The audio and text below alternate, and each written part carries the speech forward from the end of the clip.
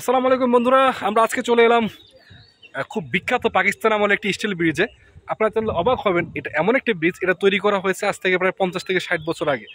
কিন্তু অবাক করার বিষয় হলো, যে আমি আপনাদেরকে দেখাই, অবাক করার বিষয় হলো, এই ব্রিজটি এখনও একটি নাটও জঙে ধরেনি।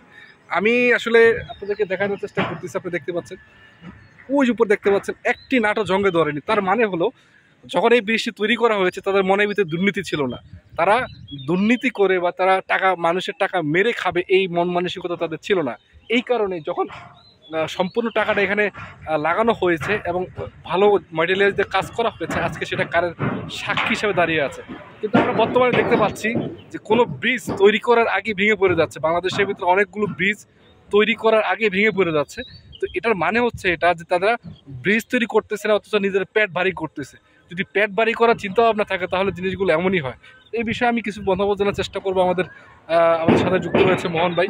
মোহন ভাই আপনি আসলে এই বিষয়ে কিছু বলতে চান অল্প সময় দর্শকের উদ্দেশ্যে কিছু বলে বলে দেন। সাপোজ ধরেন একটা ব্রিজের জন্য দুই একটা ব্রিজের জন্য এক কোটি টাকা বাজেট করা হয়েছে। সেখানে আপনি যদি তিরিশ লক্ষ টাকা দিয়ে ভিজিট ব্রিজ যদি করেন তাহলে তো অবশ্যই ব্রিজটা ভেঙে পড়বে। তো এখন স্টিলের ব্রিজের স্টিলের ব্রিজের বিষয়ে যেটা আমি বলব সেটা হচ্ছে যে স্টিলের ব্রিজের এখানে কোনো দুর্নীতি ছিল না। এই জন্য এটা পঞ্চাশ ষাট বছর এটা হয়ে গেছে এবং এটা আরও হাজার বছর এটা টিকে থাকবে ইনশাল্লাহ এটা কিচ্ছু হবে না। এর কারণটা হচ্ছে যে এখানে কোনো দুর্নীতি নেই। এটা হচ্ছে আমার কথা। ধন্যবাদ জানাচ্ছি মোহন ভাইকে। একটা কথা পরিষ্কার বলতে চাচ্ছি বাংলাদেশে যদি যেই প্রকল্পগুলোতে দুর্নীতি মুক্ত হয় আমরা আশা করছি সেই প্রকল্পগুলো এই স্টিল ব্রিজের মতো স্টিল হয়ে দাঁড়িয়ে থাকবে।